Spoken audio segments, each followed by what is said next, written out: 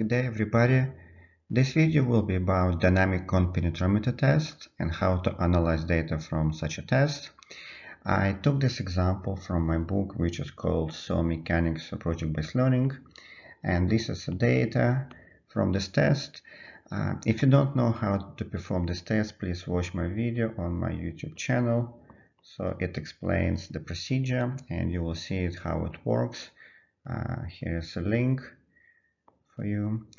So um, let's look now at the data from this test. We're going to have number of blows every 10 centimeters. So that's how it works. So you will see these numbers from the test, 4, 5, 6, 3, 2. And then this test continues uh, deeper and deeper. So it goes to 3 meters, uh, 4 meters, 5 meters, 6 meters. Uh, typically we perform this test for maybe up to 3 meters, but uh, this is just example to show you how it works. Um, sometimes for very soft material, especially um, something like sand that has no cohesion, we can go deeper than uh, 2-3 meters, but usually we stop around 2-3 meters because it will be difficult to pull out uh, the rig.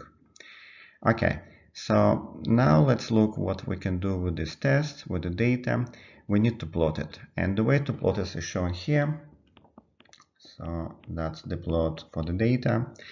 So you will see that it's straight lines uh, going down like this. So uh, these lines would show you the number of blows. So you see that, and this one is depth, so it goes depth against number of blows. So it actually gives you a very good idea about uh, strength of soil uh, with depth.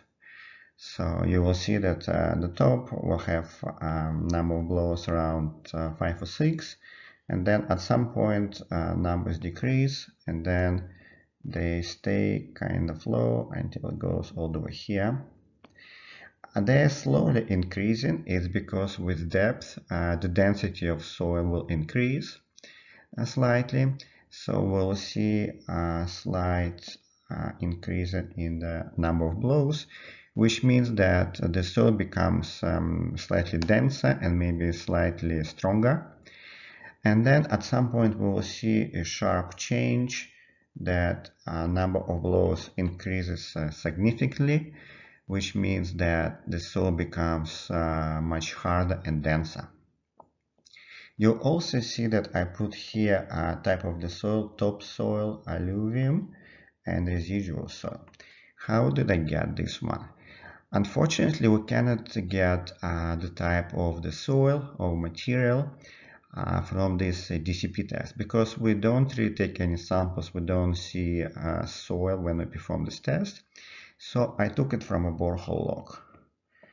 The way it works is that we uh, we can drill a borehole so that we can collect samples and we know what soil is about. In this case, it's alluvium, topsoil, and here we have residual. And then uh, next to a borehole, we can um, perform this uh, DCP test. And then we can use the data from a borehole uh, with the description of the soil and apply it uh, to the uh, DCP chart. The same thing, we can use uh, the data from DCP to um, confirm the boundaries uh, between different units. So you see in here, in this case, uh, we have topsoil and alluvium and the boundary about 0.5 meters. Uh, and here we also see about uh, 50 centimeters. We'll see this change in strength so we know, okay, so there should be um, two different geological units. And, and then we look at the borehole log and see it's alluvium.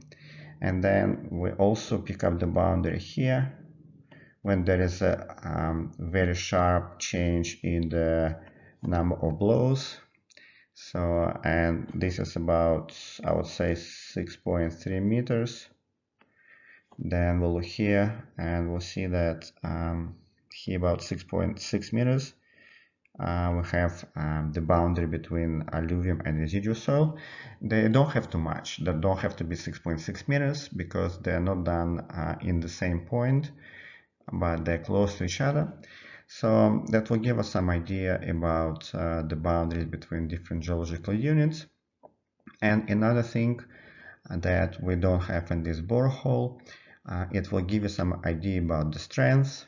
So this will be like much stronger material compared to alluvium, which will be pretty weak. And uh, to find out uh, more about the strengths, we can use these correlations shown in this table that I took from a book written by Look. Um, so these are uh, DCP number of blows and uh, according to each number of blows we can look at the strength. If we deal with clay we're going to look at um, uh, undrained uh, strength of uh, soil so you will see this is the values when we have very uh, small values of DCP the undrained uh, strength of soil is pretty low. When uh, the values goes up more than 10, you will see that uh, the clay becomes hard and the values significantly increase. Um, when we deal with the sand, we uh, don't really have any undrained strength of uh, sand, but we can correlate it to the friction angle of sand because we assume that most of the time cohesion is zero. And we can just look at the friction angle and you will see that when uh, the numbers are pretty low which means that the soil is uh, weak and maybe not very dense you will see that the friction angle is uh, relatively low less than 30 degrees when numbers go up the soil becomes denser or very dense and you will see that uh, the friction angle will increase to probably its maximum of uh, 45 degrees. So this is how we analyze data from DCP test. I hope now you have a better idea how to do it. Thanks for watching this video. Have a nice day. Bye.